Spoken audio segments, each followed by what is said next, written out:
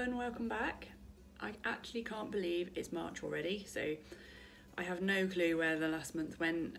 You know, I and I get that I pretty much always say that, but yeah, wow, February was an absolutely insane month for us. So you probably noticed that I've not been posting for a while, and that's just because we had a bit of a slight disaster in that um, a large chunk of our ceiling fell in. So it's all been sorted now, but it has just taken a lot of clearing up. Plaster dust gets everywhere, like literally everywhere, and it is just a nightmare to get rid of. So, um, yeah, I, I'll post a picture up, but it was there was crazy mess everywhere. I think one of the things that was really interesting for us is that we live in a 1950s, not 1950s, an 1850s coach house. Um, so there's some um, garages that once upon a time we think was a hayloft to a large villa that we're attached to. Um, and the bit that fell through was part of the old original plaster, so that was really interesting. And it was like literally full of horsehair. And the beam that was there that had just completely disintegrated, I think was probably original. So very much like when you literally picked it up, it, it was just air. It literally disintegrated in your hands and it, it you sort of squeeze it and it just like sort of exploded into dust basically. So guessing that was probably original. Um, the mess was phenomenal, but anyway, we're now on the other side of that. All the plastering's been redone and a sort of load of redecorating, but thankfully it wasn't too major. But yeah, that's one of the reasons why I've not been around. So I've had a really good few sewing weeks, and I think uh, sort of finding time to do the sewing with everything else has been a bit stressful. Work has been crazy, but then work is always crazy. Um, but I think being able to sew, being able to clear a space and just to finish up getting some stuff done feels really good and it feels really positive. And I've actually challenged myself and done quite a few different stuff. So just in case you can hear that in the background there are some building work going on um, just in the villa across from us. So it, it might sound a bit noisy so apologies for that but I just thought I'd get this done today just because I haven't made one for forever. Okay so what have I been sewing? Um, I think one of the first things that I've made that I'm really, really pleased with is the heather blazer. So I'll take a picture of the heather blazer. Um, Amelia isn't wearing anything at the moment, but what I'll do is I'll take a picture and get that posted up above just there. Um, again, I'm very late to the game with these patterns. The heather blazer is a phenomenal make and comes together really, really beautifully. So I've made mine in a pale blue linen with a white stripe um, that I got from um, Guthrie and Ghani, I think, but I'll double check. Uh, and it, it just sews incredibly beautifully. So what I wanted to do is I wanted to make a suit to go with it. So I actually managed to do another pair of the um, McCall's pattern, so the 7726, which is an absolute go-to favourite. So I have a pale blue linen suit, which is just gorgeous. Um, the trousers look really, really amazing with the jacket.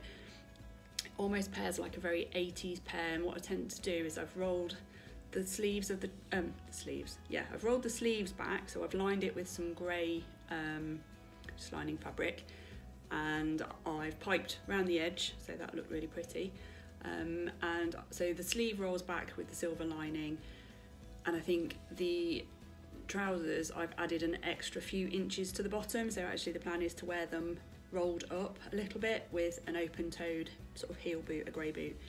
And yeah it feels really cool, it feels really really lovely. Uh, so the next thing that I've made is a Kalle shirt. So it's a viscose linen print, so viscose twill actually from um, again from Guthrie and Ghani and I think I made this skirt a couple of times that went with it and so it, it was on its second make and I think anyone who's seen the videos before will see. The thing you need to remember is that viscose twill drops really significantly but I am really really pleased with this outfit. So that is a Kalle shirt um, with some um, contrast banding. I didn't put the full collar on I just literally put the grandad collar on but again I'll take some pictures on Amelia and show you those. And I've made a half circle skirt to go with it and that's just because I wanted something a bit more smart to wear. Um, I don't really have many dresses. Not very good at wearing dresses. Um, so yeah, really, really pleased with that one. Um, fits amazingly and I'm really glad I redid it because actually the first time around it didn't really fit right, it was quite big. Um, I think again something to do with the viscose twill that sort of stretched out Um, but yeah, very, very pleased that I remade that one.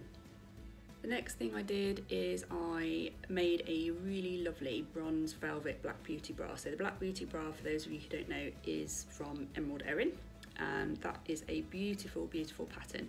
So I made a bronze bra, so with black velvet, uh, bronze velvet, beautiful, beautiful velvet with a black lace and I made a pair of knickers that I hated. And actually, I've come to the conclusion that I'm not making stuff that I don't like wearing anymore.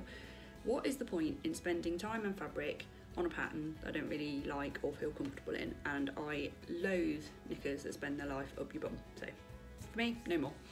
Um, so I remade the um, bronze knickers just just literally so as I've got something to wear with this bra and I have to say I'm really really glad I did because I get so much more wear out of them um, I'll pop, and again, yeah, those of you who watch will know that I'm going to stick another couple of pictures in, but give the bronze, not the bronze velvet, the bronze velvet is also very good, but give the emerald erin um, bra pattern a chance. If you've never made an underwired bra, it is, the, well, the instructions are just so good, and you just can change it in so many ways, and it, is literally one of my staple patterns, and yeah, very, very, very pleased with this one.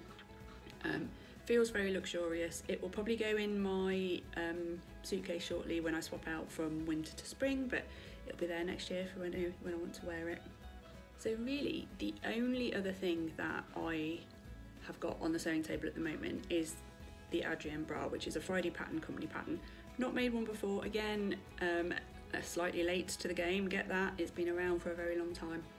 It's not very often that I see patterns that I really, really want to make, and I wanted to make something to go with the suit. So um, I bought some Meet Milk fabric from Minerva Crafts, which no, did I buy it from Minerva? No, I think I got that from Lamazi Fabrics actually. Um, the Meet Milk fabric is quite pricey, I think, but it's um, I bought a really beautiful white um, rib. So it's a rib jersey, looks really, really classy and it's very bright white. So I've bought some of that um, and the aim is to make an Adrienne, so white ribbed body and then I'm just going to use a viscose jersey for the sleeves um, and that's just wanted something simple to wear under the new blazer and jacket. Um, I will try and pop a picture of that in but it is very much in its infancy. And I think one of the things that I'm toying with next is I'm thinking of making a shirt dress. Now I have a shirt dress that doesn't really fit and I am thinking of taking it apart and making a pattern. Might be crazy, but I've never done it before. and actually, I am trying to teach myself about some new techniques and some new styles, and I think I'm going to try and use this dress and make a pattern from it. So um, I will keep you posted with how that goes. Um, it might just be simpler to buy a pattern.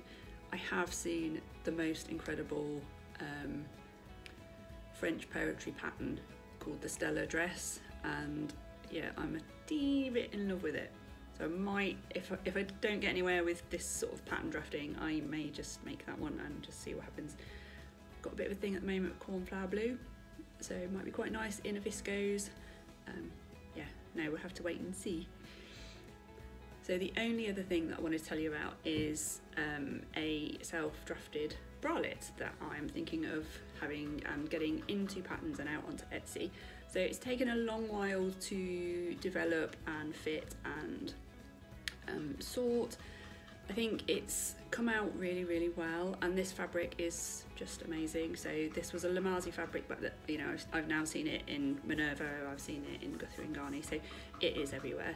Um, really super soft viscose jersey, and I've made two pairs of knickers to go with it. So the plan is um, I'll stick some pictures up here of it in its development and the plan is, still haven't got a name yet, which probably I need to do, um, is to really think about getting this pattern out there and just see how that goes really because I just I need to get these patterns out in the world and I think some of the things I've procrastinated about it for so long that probably I just need to get it done and yeah hope for the best really.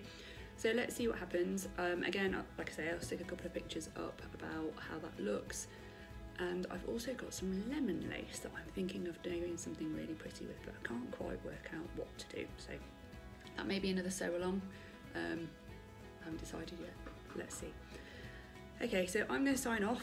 Um, I literally only jumped on for a few minutes just to give you an update. So I will get all these pictures taken and posted up, and hopefully that can be out later today. See you soon, guys. Take care.